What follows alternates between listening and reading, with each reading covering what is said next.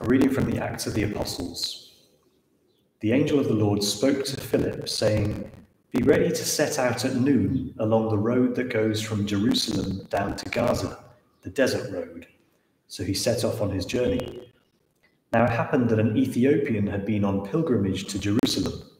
He was a eunuch and an officer at the court of the Candake, or Queen of Ethiopia, and was in fact her chief treasurer. He was now on his way home and as he sat in his chariot, he was reading the prophet Isaiah.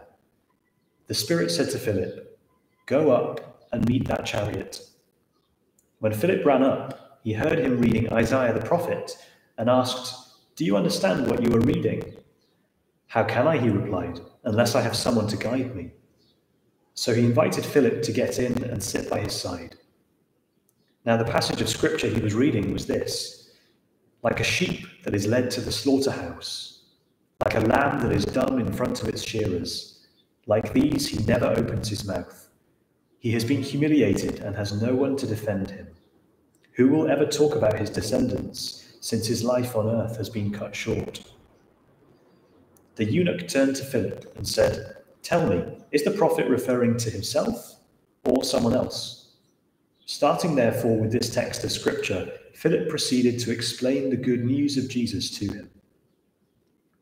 Further along the road, they came to some water, and the eunuch said, Look, there is some water here. Is there anything to stop me being baptized? He ordered the chariot to stop. Then Philip and the eunuch both went down to the water, and Philip baptized him.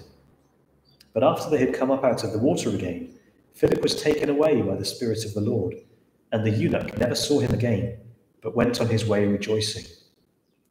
Philip found that he had reached Azotus and continued his journey proclaiming the good news in every town as far as Caesarea. The word of the Lord. Thanks be to God. Cry out with joy to God, all the earth. O peoples, bless our God. Let the voice of his praise resound, of the God who gave life to our souls and kept our feet from stumbling. Cry out with joy to God, all the earth. Come and hear, all who fear God. I will tell what he did for my soul. To him I cried aloud, with high praise ready on my tongue. Cry out with joy to God, all the earth. Blessed be God, who did not reject my prayer, nor withhold his love from me. Cry out with joy to God, all the earth. Alleluia, Alleluia, Alleluia. The Lord who hung for us upon the tree has risen from the tomb. Alleluia, Alleluia, Alleluia.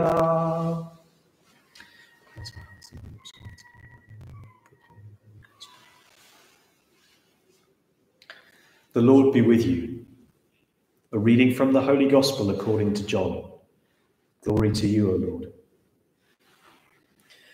Jesus said to the crowd, No one can come to me unless he is drawn by the Father who sent me, and I will raise him up at the last day.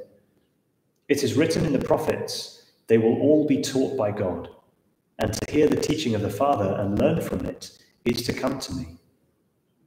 Not that anybody has seen the Father, except the one who comes from God. He has seen the Father. I tell you most solemnly, everybody who believes has eternal life. I am the bread of life. Your fathers ate the manna in the desert, and they are dead. But this is the bread that comes down from heaven, so that a man may eat it and not die. I am the living bread, which has come down from heaven.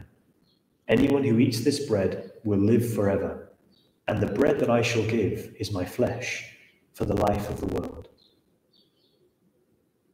The Gospel of the Lord. Praise to you, Lord Jesus Christ.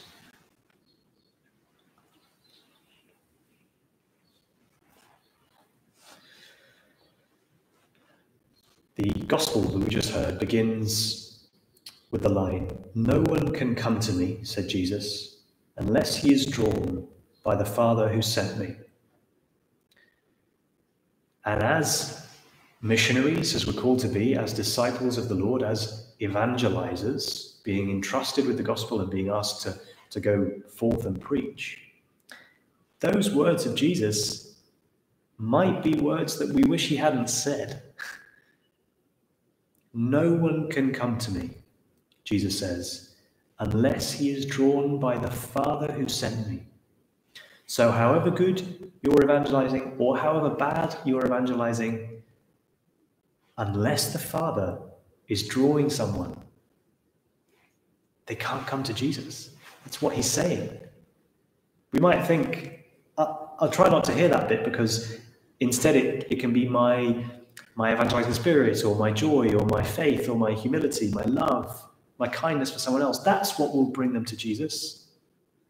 Jesus says, the Father is the one bringing souls, drawing souls. The word there, drawing in Greek, is the same word that we hear uh, later in John's Gospel when um, uh, Simon and the uh, disciples are in the boat. They've gone fishing after the resurrection. They see Jesus on the shoreline, and Jesus says, Put out your net the other side and try. Try for some fish there. And they they go, and there's 153 fish.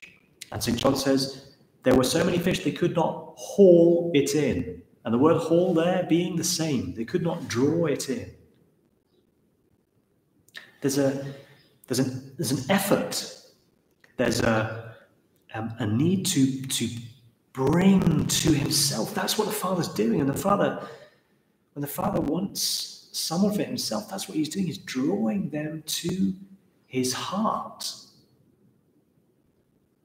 So, what is our role as missionary disciples? What is our role as people entrusted with this gospel from our baptism? Jesus says, Go out and proclaim the good news but it's like that other parable Jesus tells about the scattering of the seed. You know, some seed uh, falls on rocky ground, some seed is eaten up by the birds, some seed falls in the thorns, some seed falls in the rich soil. But only some. The sower's job, that's you and me, is to scatter. It's far and wide, to be sharing this good news far and wide. It's up to the Lord where that produces growth. I read someone this week, um, a lady in America who I think works in um, evangelization as her work. Um, she said, You know, if I'm talking to a group of people, I'm interested in the ones who seem to, their ears seem to prick up when I talk the gospel. I'm interested in everyone, but that's the one particularly that I focus on. Why? Because it's like the parable Jesus tells um, of the of the sheep he says, I'm the good shepherd. The sheep know my voice. This lady likened it to that and said, the, the, the sheep who look up at the shepherd, they're the ones who are hungry. They're the ones who know the shepherd. So, so what's our role? Our role is to pray that the Father draws to himself the person in my heart. Maybe I'm maybe someone at work, maybe someone in my family, maybe um, someone, a friend of mine, whatever it is, who I really want to come to know Jesus. Jesus says it's not going to happen unless the Father draws him.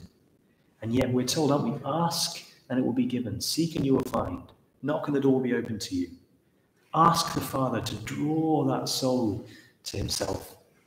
And we, like Philip, have to be totally obedient to the Holy Spirit. Here's this man sitting in his chariot reading the prophet Isaiah. All of a sudden, Philip the disciple turns up and says, Do you want help to read that? Because you might not know what that means. And I want to talk to you about Jesus.